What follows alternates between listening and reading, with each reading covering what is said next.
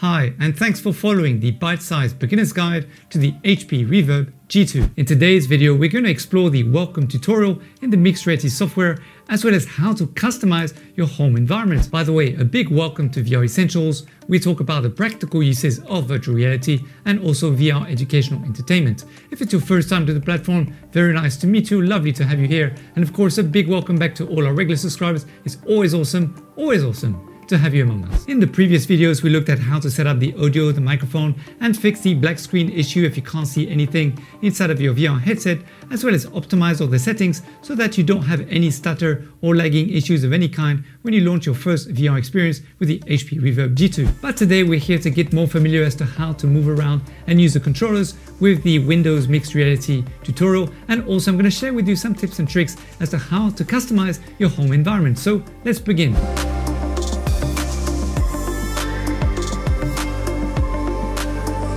Let's just assume that you're continuing from the previous video and that you're going to be putting your VR headset for the very first time. Now what you'll see basically is mixed reality telling you that you're about to adjust your VR headset. So all you have to do is point to one of your controllers towards the diamond shaped icon there for a few seconds and then you should be able to proceed to the next step. If nothing happens then just press the trigger and then it should do the trick. Now what's going to happen is you're going to be teleported into a tutorial world where basically this is where you get to learn how to use the mixed reality controls within the actual mixed reality Windows software. It's going to ask you to do a series of exercises, including rotating your view using your controller, as well as pointing to things using the trigger, making things appear and disappear, and of course the locomotion using teleport. Just a quick tip that when you do reach the diamond section, just point your controller towards one of the diamonds, click on the trigger and then release it, and then you'll be able to see some really wonderful fireworks happening before your eyes. Once you're done with the tutorial, it's to ask you to press and hold the Windows button so that it can whisk you away to another world. You'll be directly teleported to a world called Skyloft.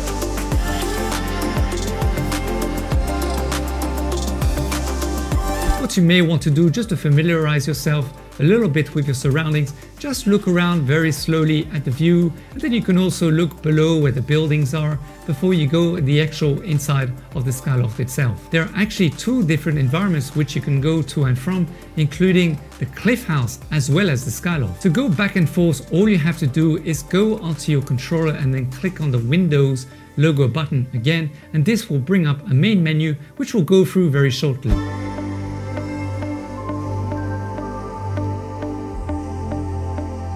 Okay, let's start to move inside. So you'll notice on your left hand side a screen which has the 3D Viewer app there. Now point your controller towards it and click with the trigger to animate the screen. And then choose any of the items. For the purpose of this video, I'm gonna choose this really funny looking chameleon who's riding a bicycle. The first thing that you notice is that the 2D image is going to pop up inside of your world as an actual 3D object. So now what you're gonna do is take your controller and point at it again and then click and hold the controller. By doing this, you'll basically be able to navigate it around left and right and then pull it away further from you or closer to you. In fact, the way to make it closer or further to you is by extending or bringing your arm closer towards your body. There's no buttons that you can press here, unfortunately, to make it go further or closer. You'll also notice that if you point your controller towards one of the corners, you'll be able to enlarge the object and make it really as big as whatever you want. You can also turn it right or left, so just point your controller towards one of the sides until you see a little GUI there, and then press and hold on your trigger. Now that you've grabbed it, all you have to do is do the motion